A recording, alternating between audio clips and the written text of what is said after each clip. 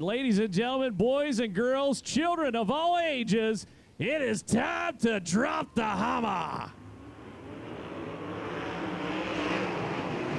Oh, it's going to be fast as we already got three wide back in the field. Up front, three wide spot onto the back straightaway. Up front, it is Jason McDougal. Looking around the top shelf, Chase Stockton down low on the racetrack. Race leader for lap number one is going to be McDougal. Flashes across the stripe, goes to the wall. Now turn one to two, crossover, diamond maneuver. Three wide for the number two spot momentarily down the back straightaway. And here comes Stockton right back at McDougal down in turn number three and four. Slide job across the nose. Lap number two is going to be Stockton, the 32 car. McDougal slams another one on him. Down in the corner, wheels up, down the straightaway. Into their number three and four for Chase Stockton to number 32. He's trying to get back to the point. He'll lead lap number three as well. Back behind Kevin Thomas Jr. A little shot in the shorts for the number 12 car. Crossover out of Stockton. McDougal trying to get the inside, almost touch tires.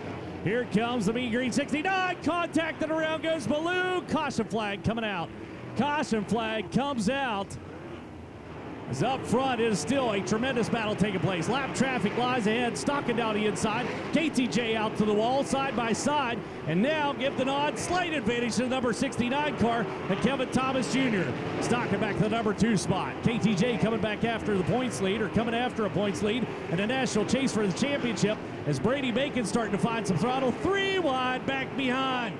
As down to the inside, Stockton back to the race lead across the stripe. Picked him off at time across. Brady Bacon, the 99 car, popping onto the scene in the number three spot around the outside of Darland. And the 36D car cars catfishing around the bottom. Both of them working out of turn number four and down the front straightaway. Move over flags coming out for lap traffic, which is hot and heavy for your race leaders. And now Kevin Thomas Jr. holds the uh, top spot yet again. And Ballou's coming. Robert Ballou is coming. The 12 cars, elbows up, out of turn number two and down the back straightaway. Went to the tail, now works his way into the number five spot. Diamond maneuver. Here comes Sunshine for the race lead.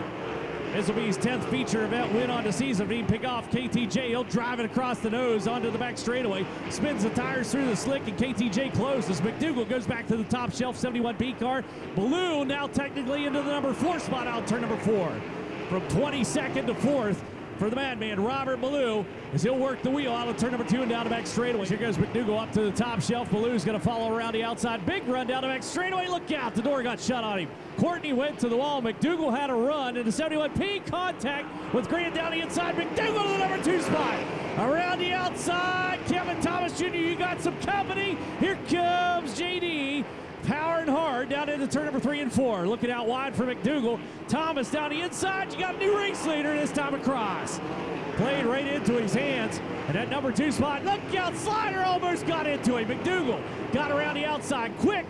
Picks up the number one spot back again as we'll rile the threat onto the front straightaway. White flag next time by. And Jason McDougal setting a pace on it. Kevin Thomas Jr. trying to come back again to the inside.